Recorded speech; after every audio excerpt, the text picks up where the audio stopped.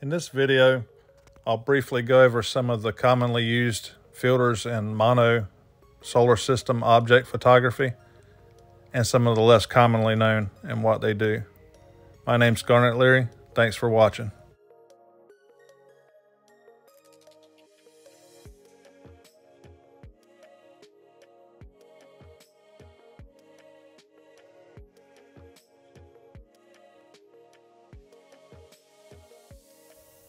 Planetary imaging with a mono camera will use the RGB filters that you find in an LRGB set. We won't be using the luminance and I'll explain that later. You're going to need to focus between each filter. And the green filter is typically going to give you more signal than red or blue. So it's absolutely imperative that you have it in focus. It's also a good practice to align your images on the green channel and a very good practice to use the UT time of green if you're being scientific about your data collection.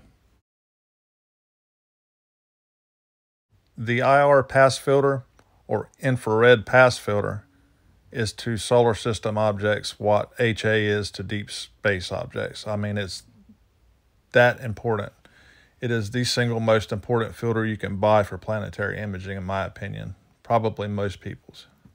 Here you can see the transmission line of the 850 nanometer ZWO IR pass filter. The real beauty of this filter is that it can beat the seeing. So infrared is a whole lot less susceptible to bad seeing conditions. So you can get a much sharper image on things like the moon and such. It can be used as the luminance filter for planetary imaging. You can also substitute the red channel for IR. Some of the sharpest lunar images I've ever taken were taken with the IR pass filter. It was absolutely critical to have it when I was shooting Mercury because it's so low on the horizon. And something really cool about the IR pass filter is you can use it to image the planets during the day. And that's because it blocks out all the, the blue sky that you see. It's a really cool filter and it's definitely one you're going to want to invest in. And that's whether you're using mono or color. As long as you have an IR sensitive color camera, you can get away with an IR pass filter. The less commonly employed filter is the CH4 or methane filter, and it's significantly useful for Jupiter and Saturn when you're studying the, the cloud patterns, the upper atmosphere. And it's really unique in that it doesn't pay any attention to color detail at all. So the brighter parts of the image are showing you the upper atmosphere and the darker the lower. It's very scientifically useful and it's really cool filter, but it's kind of niche. Um, you will need to bin two by two when you use it and you have to collect dark frames just like you would when you do deep sky imaging. The U filter or ultraviolet filter that's around 350 nanometers is really great for studying the atmosphere of Venus. It's essentially like the only way you can get any detail of Venus, which, as you know, you can only see the upper atmosphere. But aside from that, it can be used for ultraviolet photography of plants and insects and the likes. It's recommended to have an 8 inch aperture or larger it's a very niche filter, but if you're interested in Venus, then, then it's the way to go.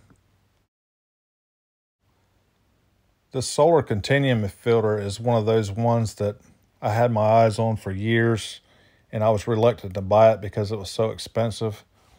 But it's actually really good.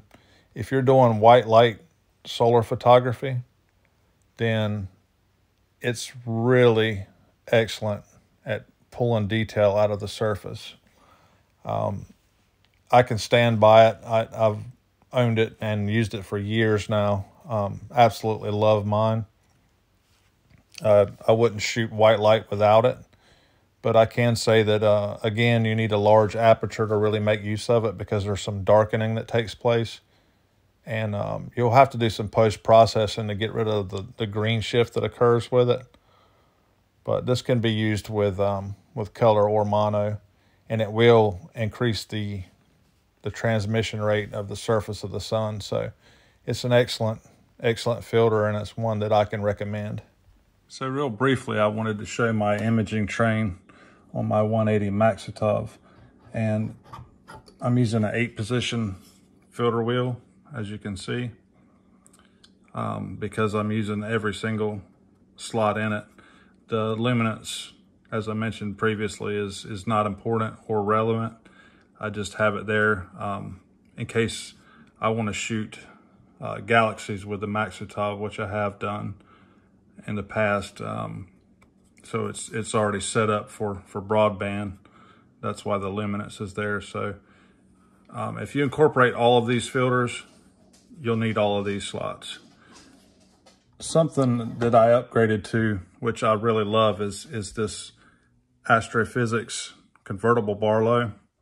Um, you might want to check these out. They're, they're a little pricey, but the beauty of this is um, I can just remove the element off the, the Barlow when the seeing conditions don't permit and then just slide the whole system back together. Um, and this is a ZWO 290 mono camera.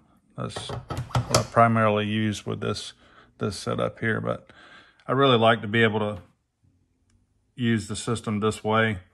a lot of times the, uh, the sky is unfavorable. Actually, for the last uh, two months for me, it's been completely horrid. As you can see, it's like this, just a total whiteout and just no possibility for any imaging whatsoever, which really sucks. But yeah, I really like the Astrophysics Barlow. Um, I believe it was Chris Go that, Christopher Go that mentioned it in a video. And uh, that's what got me interested in, and it, seems to be really good quality. And uh, I like all the, the functionality of it. But that's how I have mine set up and it works really well for me. So just thought I'd throw that out there.